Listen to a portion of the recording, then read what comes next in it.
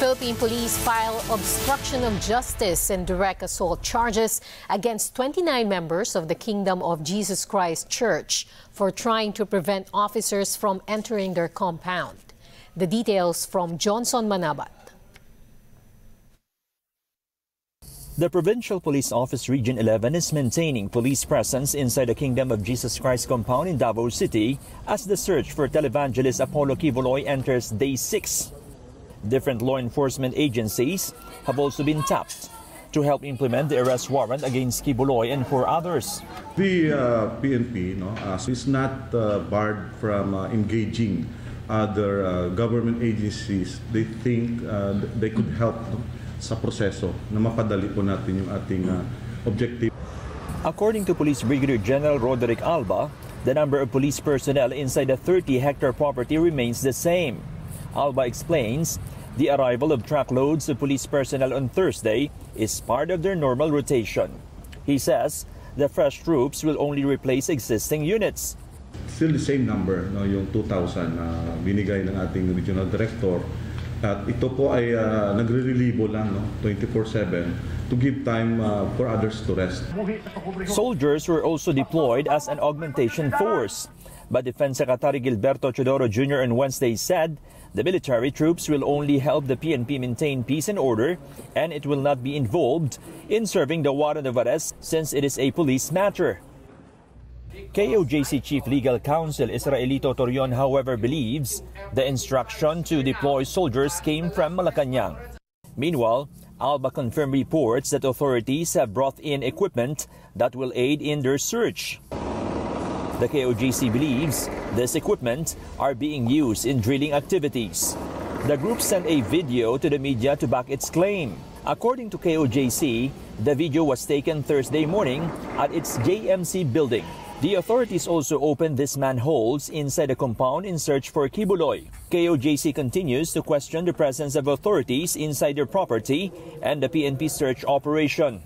This is already an intrusive search, okay? And therefore, if you have to do that, you have to convince the court of the necessity and the reasonableness of using such equipments to bother or to interfere with the rights to of property of the owners of KOJC compound. Authorities, however, say they cannot give a specific timeline when the operation will end. What is true is that uh, we are being challenged no uh, sa delay nung ginagawa ng ating uh, mga law enforcers because of the resistance. Kaya nga po ang appeal namin, uh, inulit ko na talaga ito na we're not after the uh, members of the KOGC, even the church, no? Dahil we respect it. Ang amin po ay pinapatupad po yung uh, pag-implement ng valid warrant of arrest uh, from the courts. However, some KOJC members will have to face the consequences of their actions during the police operations. The police filed obstruction of justice and direct assault charges against 29 church members. This stems from the barricade the followers set up earlier this week to prevent police officers from entering the KOJC compound. Police officials say at least 60 police personnel have been injured since the start of their operations.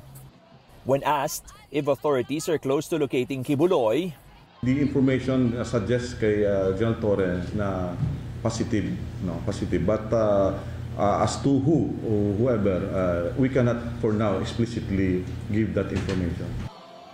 The Interior and local government said they are no more determined to push through with the search operation after a Davao court issued its clarification. Nakatanggap kami uh, kahapon din galing kay uh, Judge Dualves mismo, ang tawag niya ay Supplemental El Clarificatory Order, Mm. na siya mismo ang sinasabi niya na it does not cancel or nullify, ah, to quote, the processes in related to warrant of arrest. Both serve different purposes and are not contradictory with each other. Despite this clarification, Secretary Benhur Abalos says they will still challenge the temporary protection order granted to Quiboloy's group. He says the Solicitor General will file a petition for certiorari with the Court of Appeals. Amid the tension caused by the search operations, the Philippine Council of Evangelical Churches is calling on Quiboloy and his co-accused to consider surrendering to authorities. The group also urged the pastor to face his accusers, noting that no one is above the law. Johnson Manabat, ABS-CBN News.